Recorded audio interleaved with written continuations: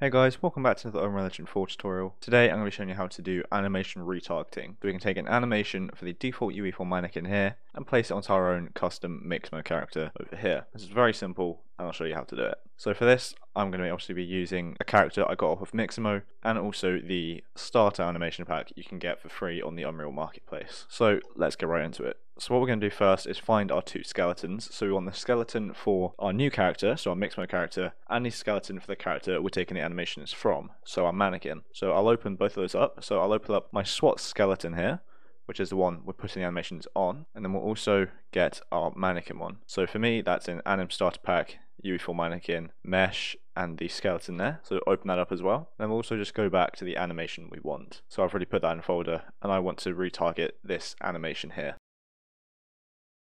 So what we'll do is close that and go back to our skeletons. And what we're going to do first is go to our mannequin skeleton, which is the skeleton the animation is on originally. So it doesn't matter too much which way around you do this, but this is how I'm doing it. So what we do is go to retarget manager here, or if that isn't there for you, what you can do is just hit this retarget manager button up here, which then brings you up to here. And what you're going to do is simply just down here under setup rig, we're going to hit select rig and select humanoid rig like this and this should now be done for us. You can see down here we have all of these already set in. So obviously the root is the root, pelvis, pelvis, all these are set in already. And now before we do the same thing for this, you can see that this is in a T pose, this is more of a Y pose. So what we're going to do is change this. So we're going to make it a T pose like this skeleton is here. So we'll just simply select the arms here and move them up. So we'll rotate them into a T pose position like this.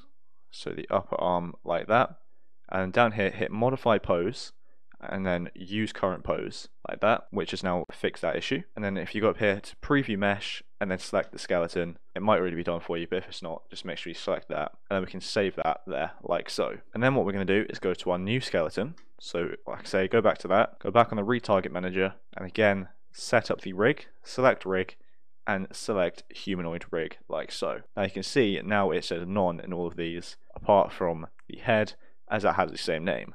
So if it has the same name as the other skeleton, it will do it for you automatically, but if not, we need to do it ourselves. So if you're going from Mixamo, the root won't have one, so root will leave as none, but obviously if you have a root bone, put that in there. The pelvis in Mixamo is hips, spine 01 is just spine, spine 2 is spine 1, spine 3 is spine 2. So you can see they kind of have a resemblance, so you know which one's which, and it is typically just going down this list like so. And so the next one is clavicle L, which is the left shoulder. So select left shoulder.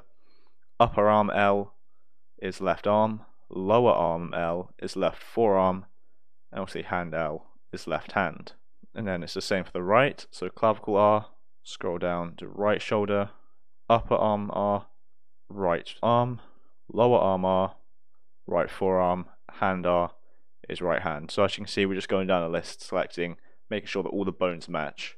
So that's what we're doing right now. We're matching the other mannequin's bones to this skeleton's bones as well, so that it's going to be using the bone mappings and the targets from that animation to just put it on here. The neck is obviously the neck, which is up here. Neck 01 will be neck 1 there. Head is head, done automatically for us. Thigh L will be left up leg. Calf L will be left leg foot L will be left foot. And once you've done this once, it's in your head and you can do it super quickly afterwards. Onto thigh R, so that's right up leg, calf R, right leg, foot R is right foot, and that is now done. So you can go through this again, make sure it's all correct, but it is for me. Again, the more you do this, the quicker you'll be at it. So then hit save. This pose is how we want it, but what we can do is preview mesh, select that skeletal mesh, and down here hit apply to asset, like so, and hit save again. And then what we'll do is minimize this and select the animations we want to retarget. And we can choose as many as we like. I'm just going to be choosing this sprinting one here. So we'll right click on that and go up to retarget anim assets, duplicate anim assets and retarget. And we're going to select our skeleton that we want. So as you can see here, we have the mannequin here in that pose and our character here in this pose as well. Now if they don't look the same size or same scale, same distance or anything, that doesn't matter. As long as they're in the same pose and you can see them, it will work. So I'm just going to change the game folder for where I want it to go into my SWAT folder here, hit OK, and hit retarget. Then if we open this up, we can see that that has now worked. So we now have this animation here. And you can see here it looks a little bit odd, so the hands are a bit like that. So if we open up the other one, the hands are closed. In this one they're not. And now the reason for that will be we haven't set up the fingers. So obviously in this, the fingers are curled up. This one they're not, so it's just gone to straight out. So to fix that, we go back to the skeleton, show advanced, and now we can do the fingers as well. So obviously it'll be the exact same. We need to do this for this one as well. Show advanced looks like this. So like I say, that one's done for us. So basically let's do it for this one now as well. So index 1L will be left hand index 1, index 02L, obviously left hand index 2. So you can see it's very easy to tell which one goes where. Left index 3, left hand middle 1, left hand middle 2, left hand middle 3, and then pinky L. So again, just go through all of these. Pinky 1, pinky 2, pinky 3. Now onto the ring fingers. Ring 1, ring 2, ring 3, and then thumb, thumb 1, thumb 2, and thumb 3. And now we'll need to do that for the right as well. And for the lower arm twist, the mode characters don't have that either, so we'll be fine without doing that for the upper, lower and upper arm twist. We can leave that as none. So then do the same for the right hand, so index one two three all the way down there until you have it done to how you want it.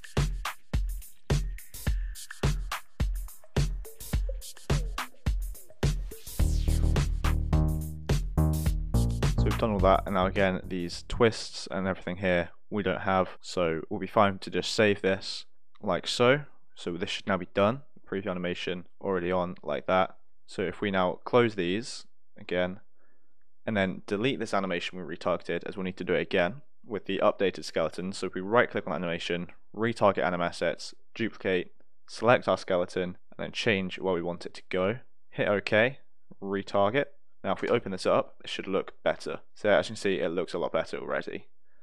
Now obviously it doesn't look perfect, but you'll just keep messing about with it more and more within more details to how you want because I've shown you the basics of how to do it so you'll be able to carry on to go more advanced as it's the exact same principle, things just have different names, but you will be able to tell what the names correlate with, as long as obviously the skeleton you're going from has named them properly, which they should have. So what I'm going to do now is just put this in here to show you as well. So I do this, drag them over here, use animation asset, use that one there, see that works, and I'm also just going to put it onto my character as well.